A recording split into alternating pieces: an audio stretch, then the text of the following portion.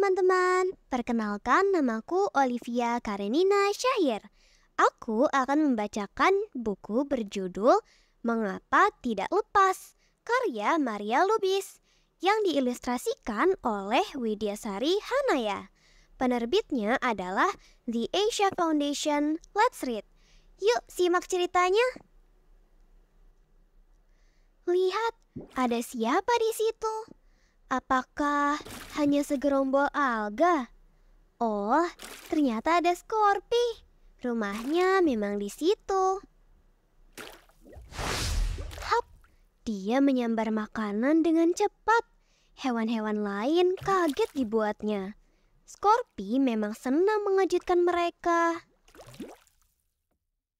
Dia juga ingin tahu banyak hal.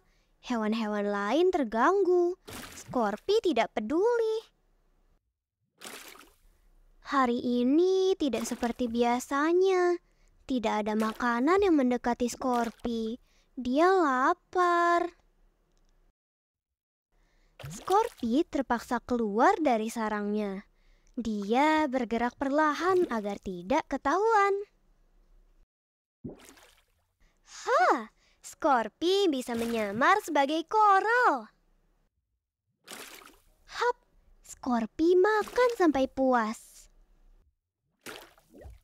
Eh, apa itu?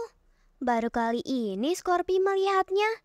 Apakah itu ikan atau hewan lain?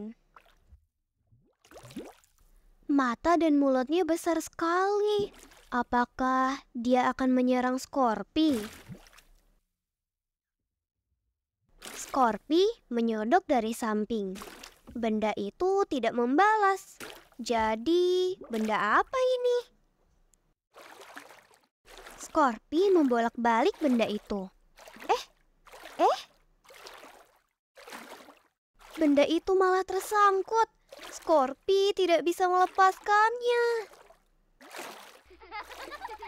Hewan-hewan lain mulai menertawakan Scorpi. Lebih baik Scorpi pulang saja. Di rumah, Scorpi malah menjadi kesal. Kini rumahnya mudah dikenali hewan-hewan lain. Dia tidak bisa lagi mengejutkan mereka. Scorpi berusaha terbebas dari benda itu. Dia sudah mencoba segala cara. Mengapa benda ini tidak lepas juga? Dia bahkan meminta tolong kepada hewan-hewan lain. Namun, tidak ada yang bersedia.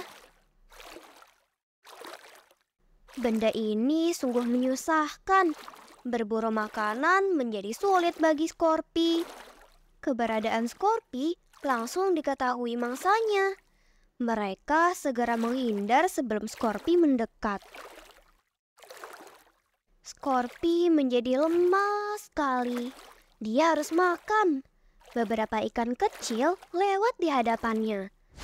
Scorpi berusaha menyergap secepat kilat. Oh, benda itu tersangkut. Scorpi menggeram marah. Sekuat tenaga, dia menarik benda itu. Aduh! Ah! Dia terlempar jauh. Akhirnya benda itu lepas juga. Wah, leganya. Scorpi berjanji akan berhati-hati terhadap benda asing. Semoga benda aneh seperti itu tidak ada lagi di sini. Apakah Scorpi juga akan berhenti mengejutkan hewan lain? Bagaimana menurutmu? Mengenal lebih dekat. Scorpi dalam cerita ini adalah ikan lepu atau Ambon scorpionfish atau Pteroidictis amboinensis. Ikan ini dinamakan demikian karena pertama kali ditemukan di daerah Ambon, walau dia juga terdapat di daerah lain. Ikan ini biasanya hidup sendirian. Dia menyerupai alga yang menjadi tempat tinggalnya. di kedalaman sekitar 40 meter. Ukurannya bisa mencapai 12 cm. Makanannya adalah ikan kecil, udang, dan kepiting. Biasanya dia bersembunyi di tengah alga, kemudian menyambar masanya dengan cepat.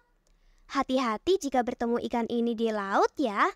Duri di kepala, punggung, dan sekeliling matanya bisa menyebarkan racun jika mengenai kulit kita. Terima kasih telah menyimak cerita ini. Sampai jumpa lagi di audiobuku berikutnya.